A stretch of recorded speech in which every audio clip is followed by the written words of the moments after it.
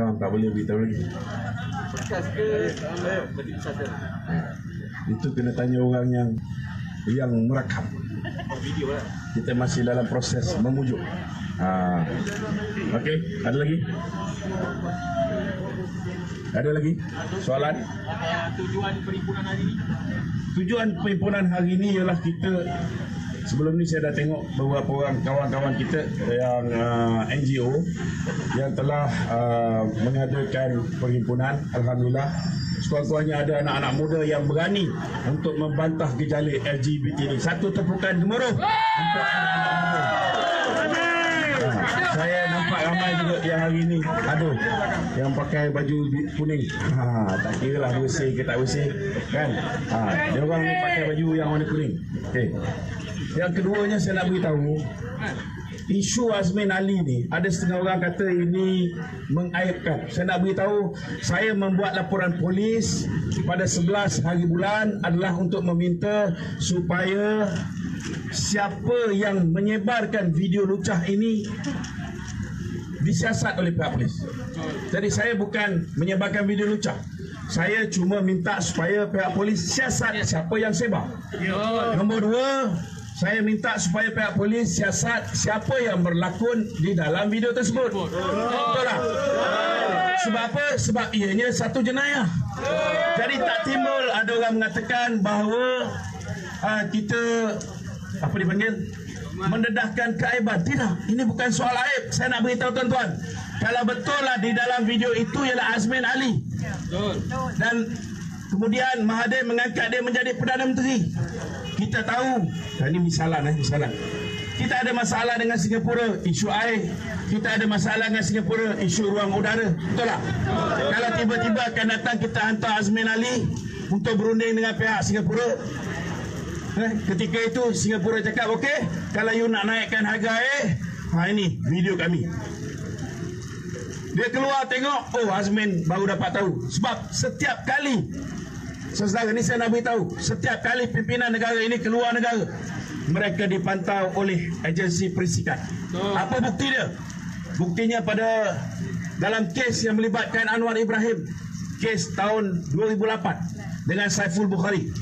Pada ketika itu Lee Kuan Yew telah menghantar satu pesanan kepada the White House dan di dalam pesanan ini Lee Kuan Yew mengatakan bahawa Badan Intelijen Singapura mendapati bahawa Anwar tahu ianya satu perangkap and yet he went into it maknanya pihak intelijen Singapura juga memantau Anwar Ibrahim. Betul tak betul? Betul. Apatah lagi Azmin yang saya sebagai sahabat baik dia, saya tahu dia simpan duit di di Singapura.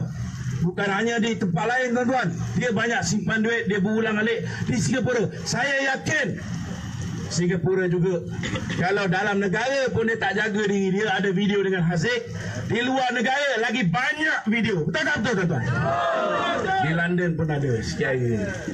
Tuan-tuan, saya nak beritahu tuan-tuan. Apa jadi kalau Singapura bila nak menuntut ruang udara dia keluarkan video ni. Bila dia nak pertahankan harga air yang murah ni, dia keluarkan video ni. Agak-agak tuan-tuan, Azmin akan kompromi dengan Singapura atau dia akan lawan Singapura. Sudah pasti dia kompromi. Kalau dia lawan apa jadi? Kalau dia lawan video dia akan dikeluarkan. Dan jika ketika dia jadi Perdana Menteri, video dia ini dikeluarkan tuan-tuan. Bukan setakat Azmin akan aib, kita satu negara akan aib. Betul tak betul? Itu sebabnya saudara, saya ambil pendekatan Islam. Kita dibolehkan melakukan kemudaratan kecil untuk mengelakkan kemudaratan yang lebih besar. Dan saya rasa membuat laporan polis taklah mudarat mana. Betul? Yang penting orang macam ni Tun Mahathir pun kenal bahawa orang anak angkat dia ni pun perangai macam ni. Saya pun tahu yang Tun Mahathir sudah pun berjumpa dengan Haziq. Dia pun dah dengar sendiri daripada mulut Haziq. Kalau dulu tahun 1998 sebelum dia memecat Anwar Ibrahim, dia panggil Umi Hafilda ingat lagi? Dia panggil wanita-wanita yang Anwar tiduri ingat lagi? Dia panggil orang-orang yang telah diliwat oleh Anwar ingat lagi? Kali ini bila Tun Mahathir memanggil Haziq Maknanya, maknanya tuan-tuan, tidak lama lagi dengan Azmin Ali juga akan berundur insyaAllah. Ya? Cuma kerja kita, kita tak nak isu ini ditutup dan disorok bawah kapet. Kita nak isu ini sentiasa hidup. Ha? Dah kerja kita membangkang tuan-tuan. Betul tak? Betul. Kalau kita tak lawan dia orang ni, siapa lagi nak lawan? Betul? Takkan kita ada peluru, kita nak simpan peluru kita, kita nak gilap peluru kita. Ha? Kita nak tunggu sampai peluru ni digunakan untuk tembak kita balik. Betul tak?